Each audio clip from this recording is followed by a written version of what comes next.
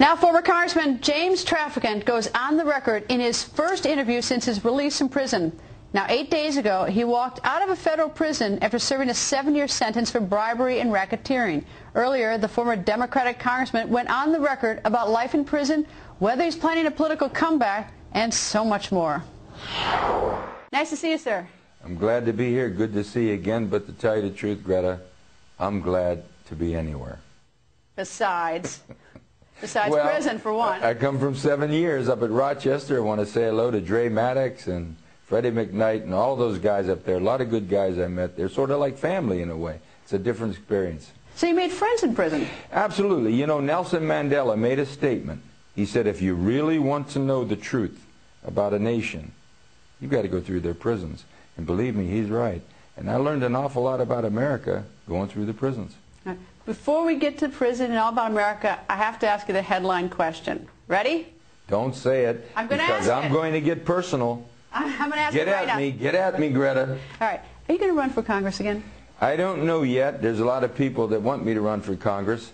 You know, I was a number one target of the American Israeli Public Affairs Committee and the number one target of the Justice Department since 1983, being the only American to ever defeat him pro se in a RICO trial. And I have big enemies, but I have some grudges, and I want to go at them. I want to go at them big time, Greta.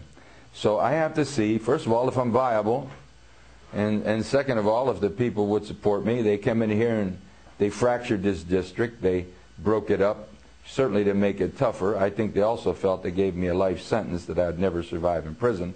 Then they came to me and said if I said I was guilty, I might even get a pardon. And I told them to shove the pardon up their derriere sideways. So here I am. And if I do run, get your best hold. Because I will be running uh, downhill with my tails flapping in the wing wide open. What are the odds you're going to win? I mean, not you're going to win. What are the odds you're going to run? The, the odds, and I've saved all comment for your show because number one, I think you have a great show. Number two, I think you're fair, and that's not trying to patronize you. I know you're going to ask some tough questions, and I'm going to embarrass you before it's over. But I would say at this point it's 50-50, and I have a lot of people that are encouraging me to run because there's so many disenfranchised people, so many, especially in this area. And one of the concerns I have is I come home to is we have Delphi here, the salaried workers that were completely cut out and lost their pension benefits. It's going to be almost a $250 million impact to this general community. And when you look at it nationally, Dayton, Ohio is going to be hit real hard. The state of Ohio is going to get hit with about $1.5 billion in lost money, economic generation, because of this decision. And I feel, and you know my record, if we could take care of people all over the world, damn it, take care of those Delphi salaried workers, and I expect it to be done.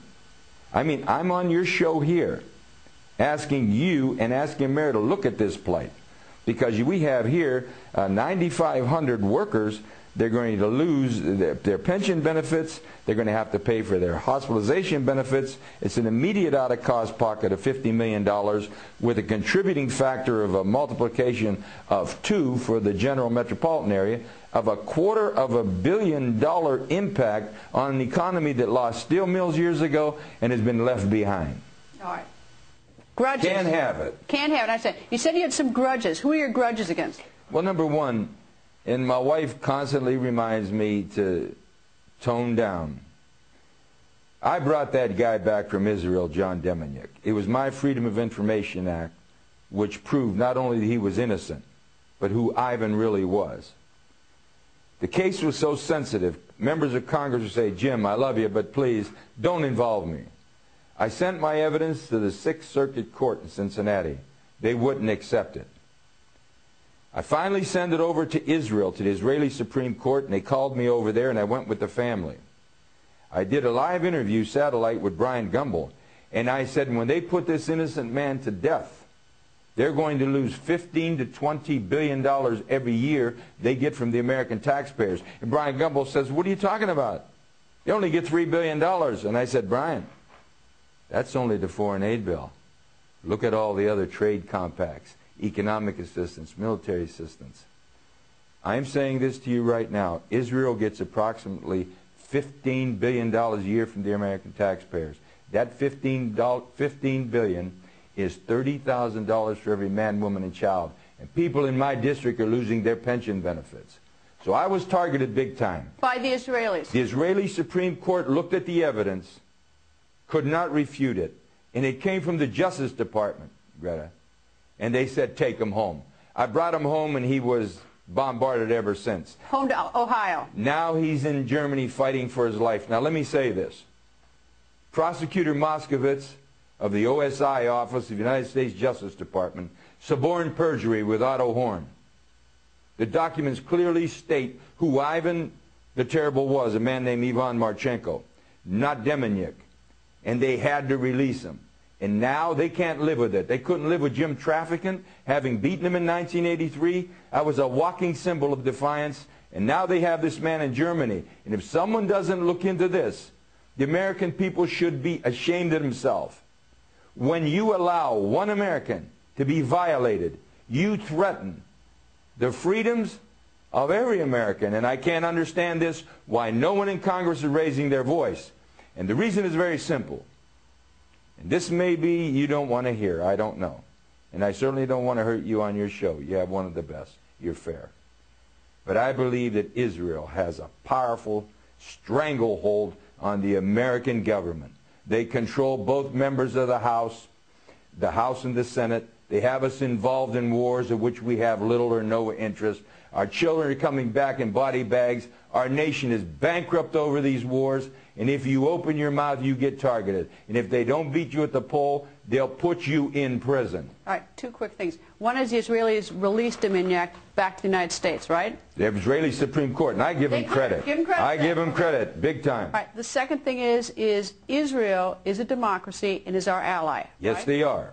Um, so you have no... And they should be our ally. They are our friends over in that troubled part of the world. So explain to me what you see as, you know, why you target or why you have a grudge against the Israelis. the grudge is not necessarily a grudge. It's an objective assessment that no one will have the courage to speak about. They're controlling much of our foreign policy. They're influencing much of our domestic policy. Wolfowitz, as Undersecretary of Defense, manipulated President Bush number two back into Iraq. They pushed definitely, definitely to try and get Bush before he left to move into Iran. We're conducting an expansionist policy of Israel, and everybody's afraid to say it. They control much of the media, they control much of the commerce of the country, and they control powerfully both bodies of the Congress.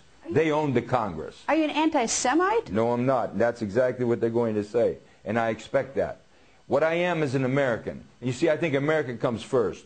And we have a one-sided foreign policy in the East, And we've alienated Arabs who have no way of fighting. So what they've done, and I predicted this on the House floor, is they would export violence to America. And they have. They have no other way to fight.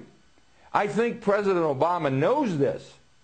I think he sees this. I think he wants to do something. I think his hands are tied. And I think he's dancing between the raindrops trying to figure how I can politically machinate some scenario to mitigate these problems.